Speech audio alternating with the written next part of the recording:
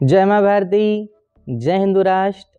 आज मैं आप सबको शंख के बारे में जानकारी देने वाला हूँ। हमारे सनातन धर्म में अनेक प्रकार की पूजा पद्धतियाँ हैं और उन सभी पूजा पद्धतियों की शुरुआत और अंत शंख ध्वनि से होता है। सिर्फ़ पूजा पद्धति नहीं, हमारे यहाँ पूर्व काल में युद्ध का, युद्ध में घोष या युद्ध का आरंभ भी शंख ध्वनि से ही होता था। पांचजन्य नामक शंख भगवान कृष्ण ने बजाया और महाभारत के युद्ध का आरंभ हुआ। और ऐसे ही शंख ध्वनि के साथ युद्ध की पूर्णाहुति होती थी। तो हमारी संस्कृति और हम सभी सनातनी लोग शंख से जुड़े हुए हैं। ये शंख को लक्ष्मी का सहोदर भी मानते ये लक्ष्मी का भाई है। और ये शंख के कई प्रकार है। जैसे ये जो शंख है इसको नारायण शंख कहते हैं या पद्म शंख भी। पद्म शंख ये जो शंख है, ये दोनों की आकृति आप देख सकते हैं, इसको पद्म शंख कहते हैं। और एक और शंख है जो आपके सामने है, जो बहुत ही बड़ा है, इसको कामधेनु शंख भी बोला जाता है, या पांचजन्य, कोई पांचजन्य भी कहता है। खैर, शंखों के नाम अलग अलग भिन्न भिन्न हो सकते हैं, आकृति भिन्न भिन्न हो सकती है। लेकिन इन शंखों से निकलने वाली जो ध्वनि है, ये ध्वनि अनेक प्रकार के हानिकारक बैक्टीरियो को नष्ट करने वाली है। अब आप जब शंख बजाते इसकी आकृति गोल होती है अंदर से। शंख बाहर से कोई भी स्वरूप का हो, लेकिन उसके भीतर जो आकृति बनती है, जो इसकी रचना होती है, वो गोल होती है। और हम जब शंख को फूंकते हैं और हम अपनी थोड़ी सी ध्वनि इसमें डालते हैं और फिर वो ध्वनि जब शंख से गोलाकार होकर जब यहाँ से बाहर निकलती है तो सामने आने वाले हानिकारक जीवों को, हानिकारक विषाणुओं को, बैक्टीरियाओं को ये शंख ध्वनि नष्ट करने में कारगर होती है। हमारा शास्त्र कहता है कि शंख को प्रातःकाल बजाना चाहिए। दिन में बजाने का निषेध किया है। प्रातःकाल और सायंकाल में अवश्य शंख ध्वनि करनी चाहिए, क्योंकि प्रातःकाल का समय, जैसे रात्रिकाल आसुरी वेला समाप्त होती है, और प्रातःकाल जब होती होने वाली होती है, सूर्य भगवान उदय होने वाले होते हैं, उस समय अगर शंख ध्वनि करते हैं तो इसका प्रभाव बहुत ज़्यादा सुप्रभाव हमारे मन मस्तिष्क पर पड़ता है। आपने देखा होगा कोई जानवर मर जाता है तो दिन में तो उसकी गंध बदबू बहुत कम आती है, लेकिन रात्रि के समय में उसकी गंध चारों तरफ़ फैल जाती है। इसका अर्थ ये हुआ कि जब सूर्य का प्रकाश धरती पर नहीं पड़ता, तब हानिकारक बैक्टीरिया बढ़ जाते हैं।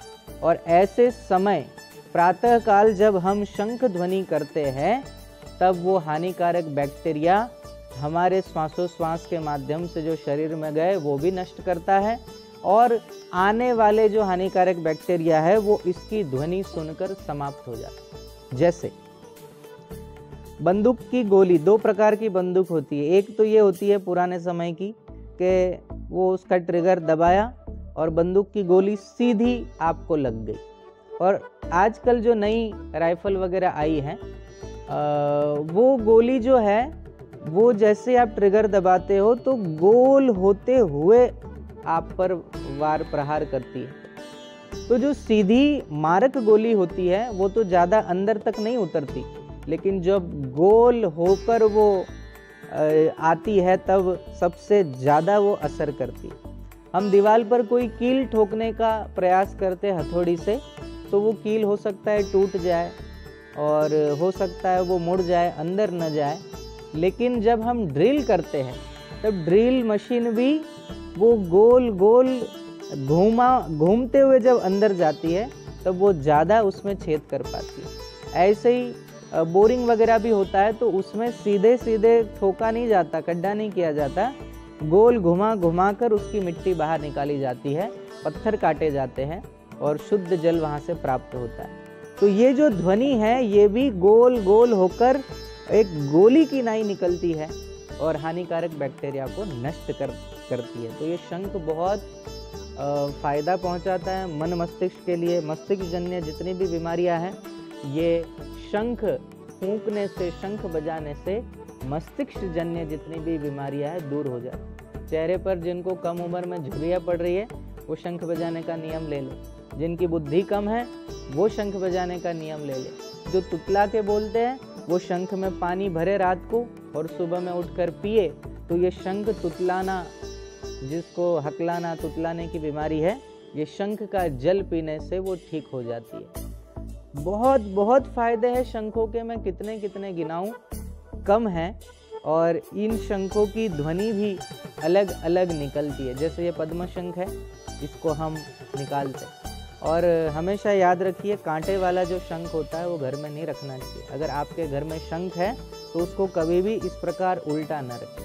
शंख को हमेशा सीधा रखें और हमेशा इसमें जल भर के रखें। सूना शंख, खाली शंख नहीं रखा जाता, नहीं तो दोष लगता है। तो थोड़ा जल भर के रखे, वो जल घर पर छाटे या उस जल का पान करें। जो तुतलाते नहीं है, ऐसे लोग भी अगर शंख का जल पीते हैं तो उनके वाणी के दोष समाप्त होते हैं और शंख फूंकने से दमे की बीमारी नहीं होगी। और कभी कभी जब हम सांस पूरी नहीं ले पाते तो हमारे फेफड़ों में दूषित वायु भर जाती है, जो समय पाकर कालांतर में सड़ती है। जैसे तालाब का पानी धीमे धीमे धीमे बदला नहीं गया, नया पानी उसमें ऐड नहीं हुआ तो सड़ने लगता है।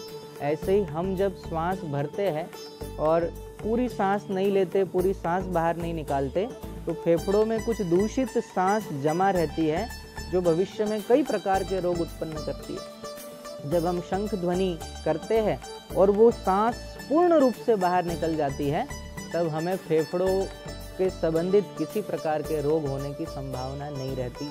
फेफड़ों का कैंसर होने की संभावना नहीं रहती और लीवर, फैटी लीवर वगैरह जिनका हो चुका है ठीक से प्राणायाम जो नहीं कर पाते वो केवल शंख बजाए तो उनके प्राणायाम भी हो जाएँगे। तो अभी मैं आपको, मेरे पास तीन प्रकार के शंख हैं और तीनों शंखों की ध्वनि मैं आपको सुनाता हूँ। ध्यान से आप सुनिए।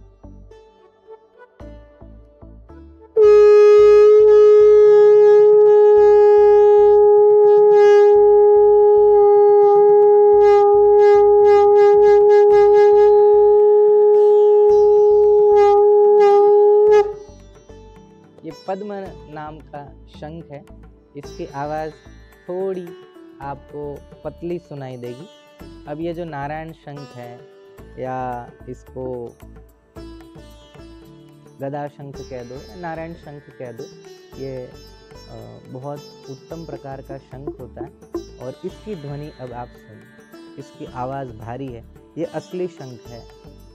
नकली शंख जो होते हैं वो आप जब नमक के पानी में उसको घोल के रखते हैं, तब ये नकली शंख टूट जाता है।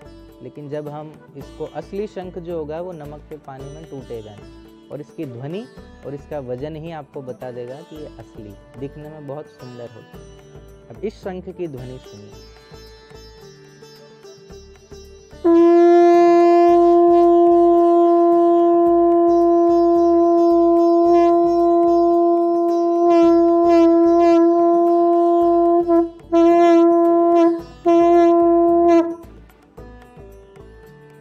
शंख, हृदय में उतरने वाली ध्वनि है इस शंख की, और ये शंख अनेक प्रकार के बैक्टीरियो को मार दे अब ये जो शंख है, कामधेनु शंख या पांचजन्य शंख, इसकी ध्वनि सुनिए तो ये जो शंख है, ये तरह तरह के से इसको बजा सकते और इसकी ध्वनि उसी प्रकार से निकलती है।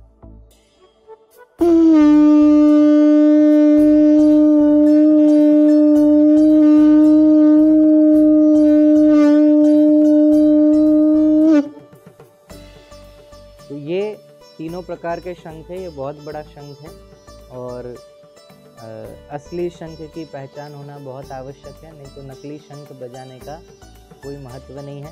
ये लक्ष्मी के भाई है, जैसे लक्ष्मी समुद्र से प्रकट हुई, ऐसे ही शंख भी समुद्र से प्रकट हुए हैं। तो श्री लक्ष्मी जी के भाई कहे गए शंख, और जहाँ भाई है, वहाँ बहन दौड़ी दौड़ी चली आती है। ऐसी मान्यता है दक्षिणावर्ती शंख होते हैं, वामावर्ती शंख होते हैं, ये हमारे पास जो भी शंख है, ये सब वामावर्ती शंख है। दक्षिणावर्ती शंख मिलते हैं, लेकिन वो निकृष्ट होते हैं। असली दक्षिणावर्ती शंख, जिसको साक्षात लक्ष्मी का ही रूप माना गया, ऐसे शंख मिलना दुर्लभ है। मार्केट में तो बहुत सारे लोग आप तीर्थ क्षेत्रों में जाओ तो धरती पर कपड़ा बिछा के वहाँ ढेरों शंख दक्षिणावर्ती बेचते हैं। उनकी खुद की दरिद्रता नहीं गई, हमारी क्या जाएगी?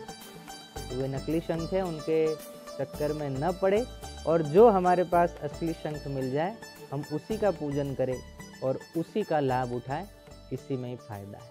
जय माँ भारती, जय हिंद